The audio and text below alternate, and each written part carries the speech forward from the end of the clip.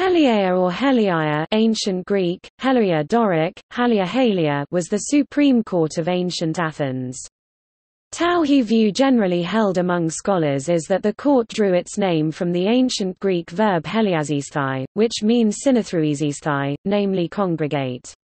Another version is that the court took its name from the fact that the hearings were taking place outdoors, under the sun. Initially, this was the name of the place where the hearings were convoked, but later this appellation included the court as well. The judges were called heliasts heliasti or dicasts, equals those who have sworn, namely the jurors. The operation of judging was called heliasisthai equals Topic: Institution and composition of Heliaea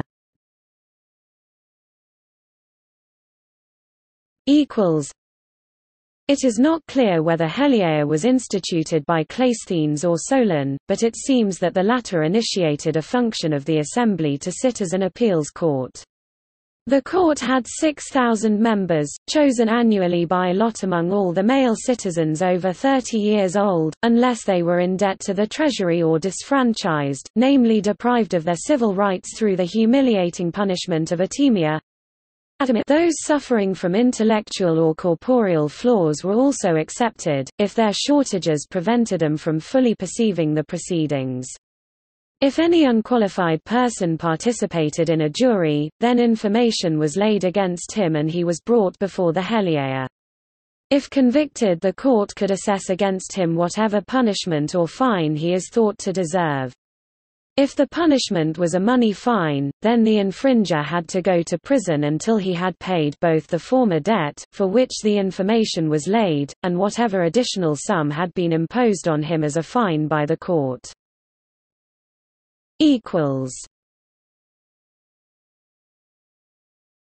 Topic: Appointment of the jurymen. Equals the public office of the Heliast was not obligatory, but the citizens who wished to exert these duties had to submit a petition. The post of the dicast was salaried and, thereby, the jurors were remunerated for each day of employment with one obolus and later, at the instigation of Cleon probably in 425 BC with three oboloi, i.e. half a drachma. According to Aristotle, Pericles first made service in the jury courts a paid office, as a popular counter-measure against Cimon's wealth. The 6,000 were drawn from the ten tribes each tribe was offering 600 members and they were then divided into chambers of 600 jurymen, 500 or 501 of whom were regular members, with the rest constituting alternate jurors.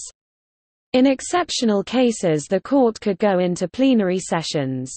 Sometimes, the chambers had 201 to 401 members or 1001 to 1501 members. After the selection by lot, the Heliasts had to take the Heliastic oath once every year. After the swearing-in, the jurors received one boxwood ticket, with their own names and that of their father and deme written on it, and one letter of the alphabet as far as Kappa and the jurors of each tribe were divided into ten sections, approximately an equal number under each letter.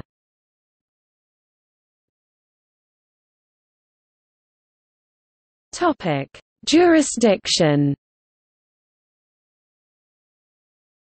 Initially, the Heliaea's jurisdiction was limited to judging the archons and, probably, some other similar accusations against public office holders.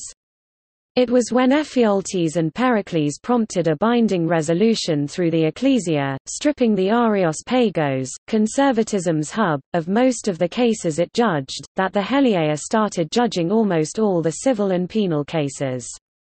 The Areios Pagos kept its competence only for the crimes of murder and arson, while the Archons could impose some minor fines. The Heliaea's jurisdiction also included litigation which involved Athenians and citizens of other cities or Athens and another city as subjects of international law.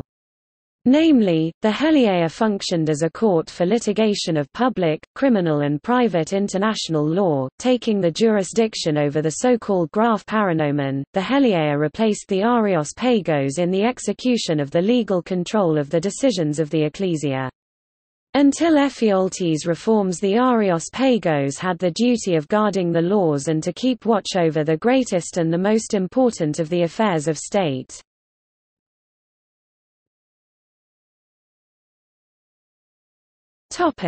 Procedure. The Heliaea was in session every normal day, except for the three last days of each month and for the days during which the ecclesia was in session. The sessions took place in the open within a marked-off area, since there was no specific building where they could be lodged. The location of the hearing was confined within a special hedge, outside of which the audience could stand. The details of the legal procedure were as follows. The hegemon, hegemon of the court was responsible for the registration of the suits and complaints. After holding a preliminary investigation, he also had to subpoena the litigant parties and the witnesses before the jury. In the morning of the day of hearings, the hegemon had to determine by lot the jury that would judge the case as well as the place where it would convene. After the formation of the jury, the hegemon had to submit the conclusions of his preliminary investigation, announcing and defining the litigation on which the court should decide. Then it was the time for the plaintiff, the defendant and the witnesses to be heard. The arguments were exposed by the litigants themselves, without the legal support of a lawyer, in the form of an exchange of single speeches timed by water clock. In a public suit each litigant had three hours to speak, whereas they had much less in private suits though here it was in proportion to the amount of money at stake.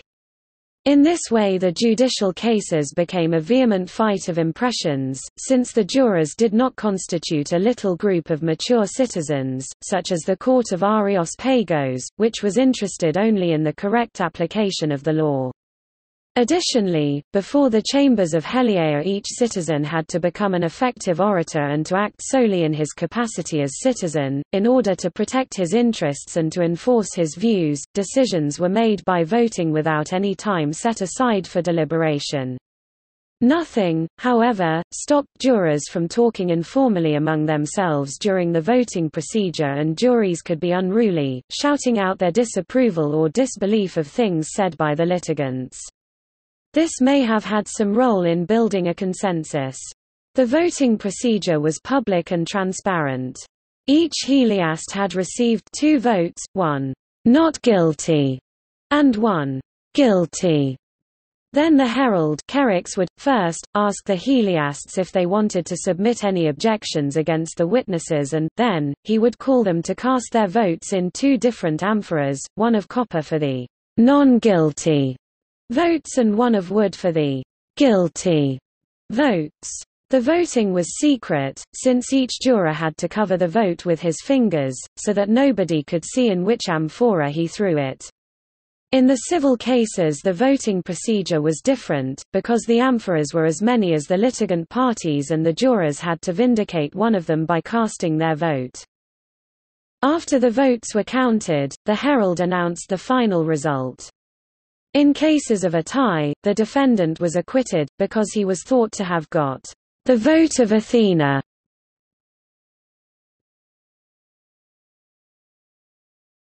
Topic: Sentences.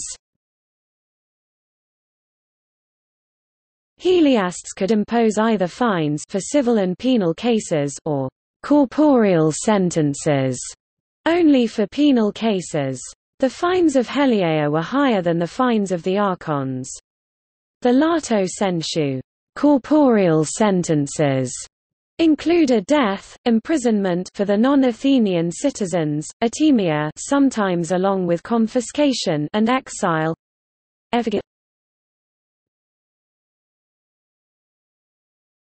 Topic: Famous trials before Heliaea.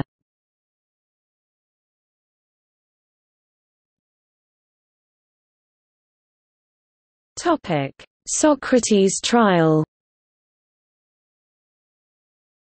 Socrates was accused of impiety by Meletus, Anytus and Lycon. His trial took place in 399 BC and the jury found him guilty with 280 votes to 220. His death sentence was decided in a second round of voting, which was even worse for the philosopher. Nonetheless, Socrates did not lose his calm demeanor and, although during the trial he could propose to the jury his self-exile, he did not do it when his friends offered to help him flee afterward, since life away from his beloved city was pointless for him.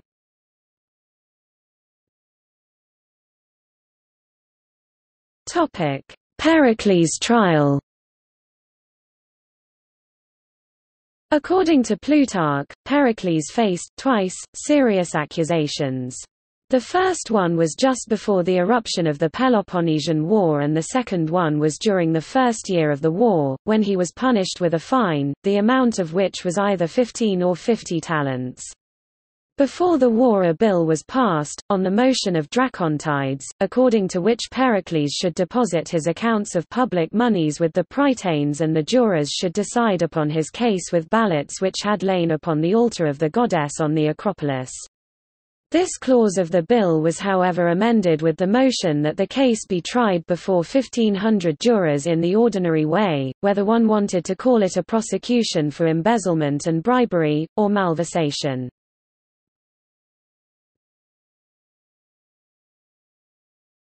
Topic. See also. Areopagus. Athenian democracy. Atimia loss of citizen rights. Attic calendar. Boule. Ecclesia ancient Athens. Graph Paranomon History of Athens. Law court ancient Athens Topic Notes Alpha. Carat in Argos the place where its court was seated was also called Haleia. Beta. Carat Sun.